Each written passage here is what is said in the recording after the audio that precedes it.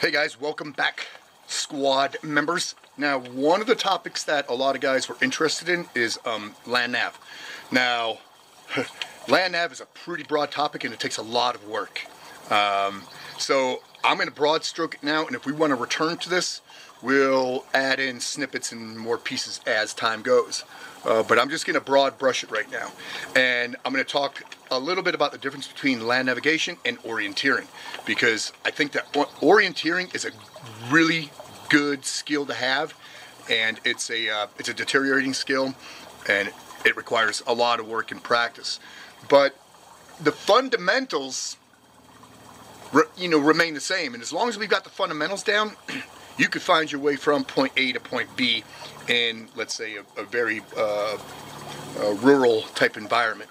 Um, so what you need here is a, a compass, a, a, topographical map.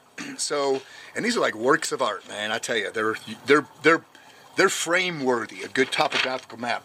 When it comes to topographical maps, uh, I think a good site to go is my topo com, something like that. I could add that web link on this uh, block of instruction here. And then when we talk maps, we want, it, in my opinion, you want a, a large scale map versus a small scale map.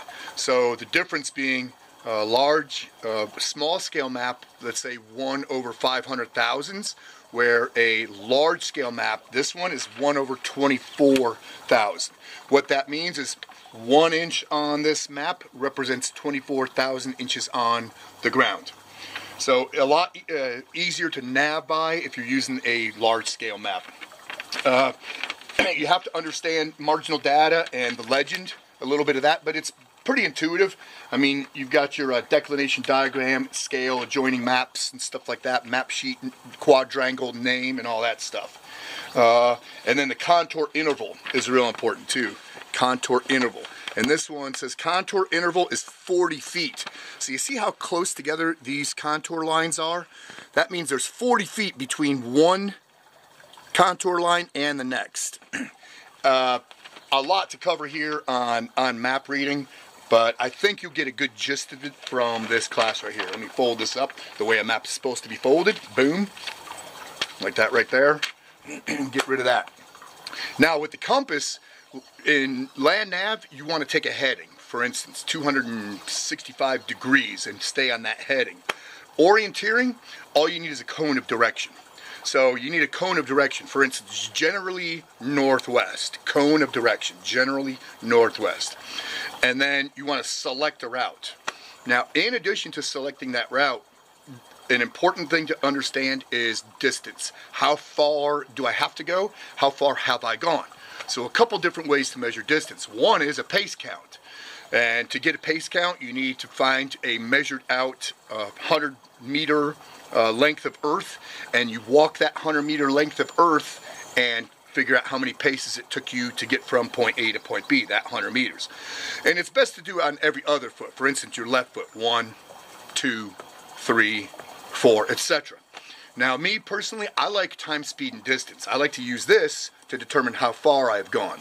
Time, speed, and distance, you need a, a predetermined chunk of earth that you know is, for instance, 1,000 meters, 1,000 meters long.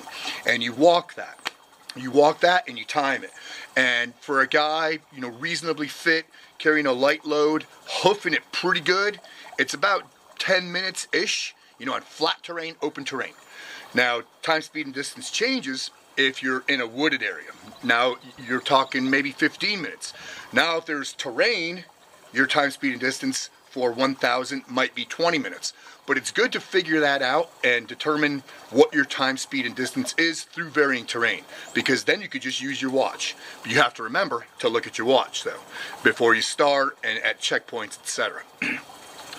now, like I said, the difference between orienteering and land navigation. Land navigation, if I need to go from uh, point A to point B, I'm to just shoot a heading and I'm to dead reckon. Boom. I'm to stay on that heading. You know, the whole way. I'm just to stay on my compass and stay on that heading.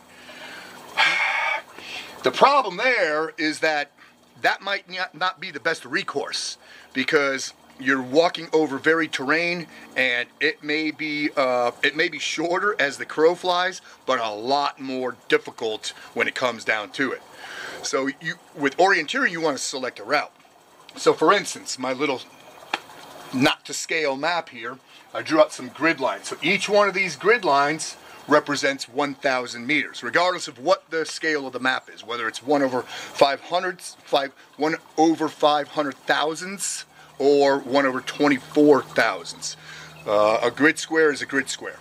Just that on a small scale map, they're a lot smaller. On a large scale map, they're a lot bigger. Um, you don't even need a protractor. You don't even need a protractor to do orienteering. So, all right, orienteering my vehicle broke down there or this is the location of my vehicle on that road. I need to move to this fire tower or whatever it is. So I want to select a route. Now, some of how we select a route might be, may be determined by your geographical location. For instance, uh, the, uh, the hills in uh, Pennsylvania, uh, West Virginia, North Carolina Smokies, and those draws and creek bottoms, that stuff is rough. We don't want to get caught in that stuff at all. You know, on other uh, geographical locations, maybe like the Southwest, those creek bottoms aren't as uh, they're not filled with as many brambles and rocks and um, uh, mountain laurel and all those kind of tangly things. So you could get away with walking in those in those ruts, but in somewhere like I live, North Carolina, I want to stay out of that crap.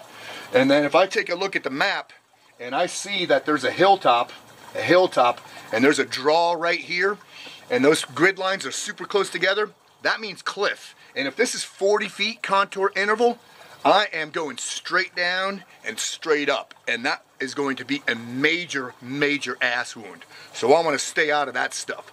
It's important also to know terrain features, and you could look those up on the interwebs, right? Look up topographical uh, terrain features, because it's important to know whether what a uh, hilltop is, a saddle, draw, depression, all those things.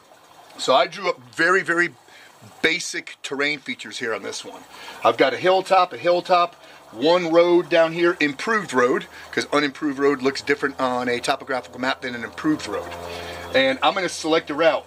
So I'm, I'm going to check my distance. So I'm going to count out or measure out by grid square how far it is from here to there. And it's roughly one, two, three, four, five, let's say 6K, thereabouts. So before I take off, I need to make sure that I check my watch because I know how long it's going to take me. Now I'm going to select a route that takes me uh, around this hilltop. I'm not going to go straight up and straight down if I don't have to. I'm going to use this hilltop as a uh, as a handrail on my left and the low ground is a handrail on my right. And I'm going to use this saddle right here as a checkpoint. So I'm going to take off, get my time hack, start, and I'm going to start walking. Now the danger of traversing is when you traverse, you tend to slip downhill. So you have to pay attention to that when you're traversing. So I know that my general cone of direction here, because this would be north, is uh, east by north, uh, I'm sorry, west by northwest. So I'm gonna walk west initially and then start northwest until I hit this big chunk right here. I'm gonna check my time to see if I'm roughly at one, two, three K something like that. So uh, that's probably about 45 minutes in this terrain, about 15 minutes per kilometer. Once I'm here, I'm gonna uh, do the same thing where um, I uh, do a time hack and I'm not gonna go straight up. I'm not gonna go straight up this. I'm gonna use this uh, spur right here because this is low ground, low ground, low ground, and it go, comes up like this. I'm gonna use the spur as an attack point. So once I get to the spur and I have low ground on my left, right, and back, and nothing but high ground in front of me, that's going to be my attack point, and my cone of direction is going to change. My cone of direction now, northeast. Roughly one kilometer, boom, time hack, boogie on up that until I hit the apex of this hilltop. Now I have low ground on all sides. So real broad brush, uh, kind of explanation of orienteering. If we like this, we could get into it a lot more. Anyway, thanks for being here and paying attention. Rock and roll.